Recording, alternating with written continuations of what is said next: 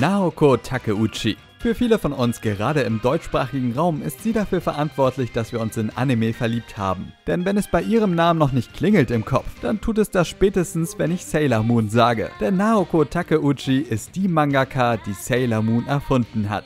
Doch bevor diese Manga-Reihe von ihren Händen geschaffen wurde, war es ein weiter Weg. Sie wurde am 15. März 1967 in Japan geboren. Genauer gesagt in Kofu, welches sich in der Yamanashi-Präfektur befindet. Zusammen mit ihren Eltern Kenji und Ikoko Takeuchi sowie ihren jüngeren Bruder Shingo wuchs sie wohlbehalten auf. Möglicherweise kommen dem einen oder anderen diese Namen bereits bekannt vor, denn Naoko hat die Namen ihrer Familie später für Sailor Moon verwendet. Zwischendurch jobbte Takeuchi noch als Miko in einem japanischen Schrein, welche später noch als Grundlage für den Charakter Ray aus Sailor Moon dienen sollte. Sehr früh in ihrer Kindheit hat sie den Traum entwickelt, Mangaka zu werden. In der Highschool hat sie sogar einen Zeichnerclub besucht. Und nicht zu vergessen, weil es in Sailor Moon später noch eine wichtige Rolle spielen wird, ein Astronomieclub. Aber wie es nun mal so ist, ist der Weg dorthin nicht ganz so einfach. Also musste auch Naoko einen kleinen Umweg gehen, bevor sie ihre große Karriere starten konnte. Und das Ganze ging über die Pharmazie. Denn nach der Highschool besuchte sie die Kyoritsu Chemische Universität. Auch diesen Abschnitt ihres Lebens hat sie später in Sailor Moon übertragen. Denn so haben viele Bösewichte Namen von Mineralien und Edelsteine erhalten. Aber auch während sie Pharmazie studierte, wurde sie dem Zeichnen nicht untreu. Und sie schaffte es tatsächlich mit dem One-Shot Yume Yanai Ne 1985 in die Zeitschrift Nakayoshi Deluxe. Die Nakayoshi Magazin Magazine sind dafür bekannt, aufstrebende Künstler eine Plattform zu bieten. Also nutzte Naoko die Chance, die sich ihr bot und veröffentlichte weitere One-Shots in dem Magazin. Aber bereits ihr zweites Werk, Love Call, erhielt 1986 einen Kodansha Award und sie schuf sich so langsam einen Namen in der Szene. Im selben Jahr schaffte sie den Abschluss in Chemie und fing danach als Apothekerin im Keio Krankenhaus in Tokio an. Man könnte vielleicht meinen, dass ein Vollzeitjob für ihren Karrierewunsch ein Hindernis darstellen sollte. Doch Naoko war entschlossen. Mit ihrer absoluten Hingabe und der Unterstützung eines befreundeten Cutters arbeitete sie weiter an One-Shots, die regelmäßig veröffentlicht wurden, darunter unter anderem Yumiro Rainy Button oder Prison Time Graduation. Schon bei diesen Werken hatte sich ihr berühmter Zeichenstil etabliert. Schon damals musste sie beim Verlagschef ziemlich hart dafür kämpfen, dass auch Geschichten für Mädchen einen großen Erfolg haben können. Und sie wollte sich von alten Männern nicht sagen lassen, wie diese Geschichten auszusehen haben. Vor allem diese typischen Geschlechterrollen wollte sie durchbrechen. Doch so langsam wollte sie eine längere Geschichte erzählen. Und somit schuf sie 1987 ihr ersten richtigen Manga, Chocolate Christmas. Eine Geschichte über ein Mädchen, welches sich über Weihnachten in einen DJ verliebte. Zusammen mit Maria, welches 1989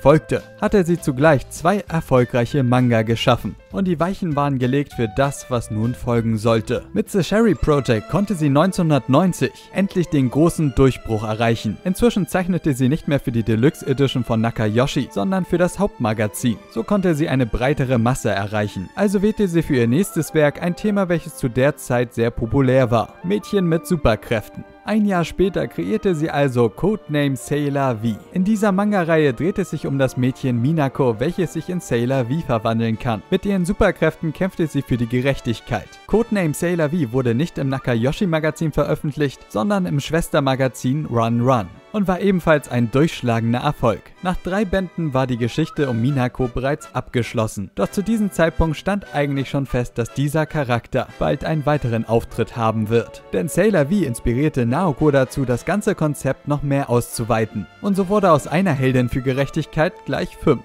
Also fing sie an, ihre neue Geschichte aufs weiße Blatt zu bringen. Im Dezember 1991 war es dann soweit. In der neuesten Nakayoshi-Ausgabe erschien das erste Kapitel eines der wohl populärsten Manga unserer Zeit. Pretty Guardian Sailor Moon.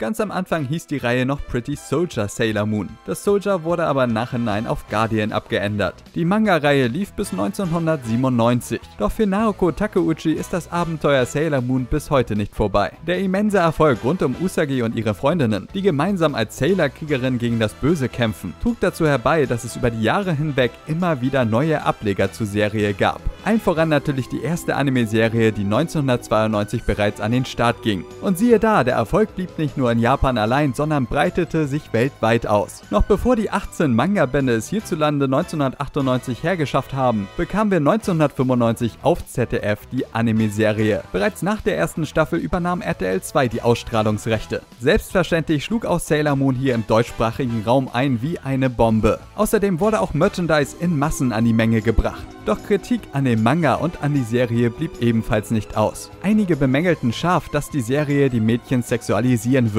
denn gerade das jüngere Publikum nutzte Sailor Moon als Vorbild. Aber diese Kritiken konnten Naoko Takeuchi und Sailor Moon nicht aufhalten. Bis 1997 zeichnete sie an der Manga-Reihe fleißig weiter. Aufgrund der Absetzung des Magazins Run Run wurde die geplante Anime-Umsetzung von Codename Sailor V leider niemals Realität. Und somit blieb Sailor Moon die einzige Vorlage von Naoko, die jemals eine vollständige Anime-Serie erhalten würde. Nach dem Ende von Sailor Moon waren alle darauf gespannt, was Naokos nächstes Werk sein würde. Nur wenig später, noch im selben Jahr, veröffentlichte sie das erste Kapitel von PQ Angels. Eine Reihe, die sich auf zwei außerirdische Mädchen fokussieren sollte, die sich auf die Suche nach ihrer verschollenen Königin machten.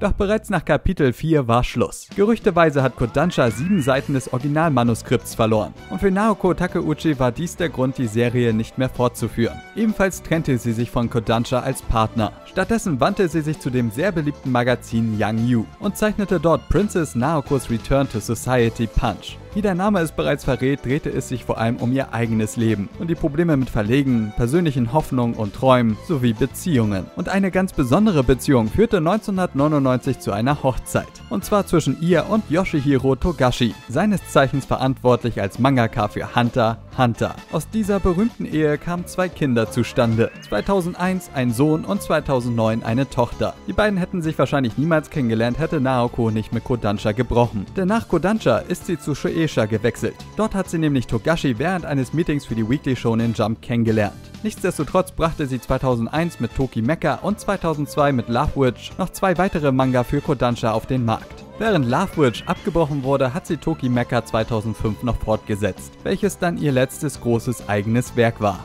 Stattdessen fokussierte sie sich weiterhin auf Sailor Moon, unter anderem 2003 mit einer Realfilmserie, wo sie stark involviert war. Als 2012 ein Anime-Reboot von Sailor Moon angekündigt wurde, startete auch Takeuchi zusammen mit ihren Kata Osano eine Kanzenban-Version von Sailor Moon, was quasi eine überarbeitete Komplettedition ist, zum Beispiel mit Farbseiten oder alternativen Covern. 2014 ging dann Sailor Moon Crystal an den Start, wo Takeuchi unter anderem unter dem Pseudonym Sumire Shirobara den Songtext zum Ending-Song Moonbow beigetragen hat. Und bis vor kurzem arbeitete sie mit an dem Film-Zweiteiler Pretty Guardian Sailor Moon Eternal, welche die Geschichte von Sailor Moon Crystal fortsetzte. Auch hier zeigte sie, wie über die ganzen Jahre hinweg ihr Talent für Songtexte. Takeuchi hätte sich niemals vorstellen können, dass Sailor Moon über 20 Jahre nach dem ersten Erscheinen immer noch so populär sein würde und dass es so viele Menschen lieben. Aber selbst noch heute, wenn sie jemanden sagen hört, dass er Sailor Moon mag, findet sie es fantastisch und macht sie glücklich.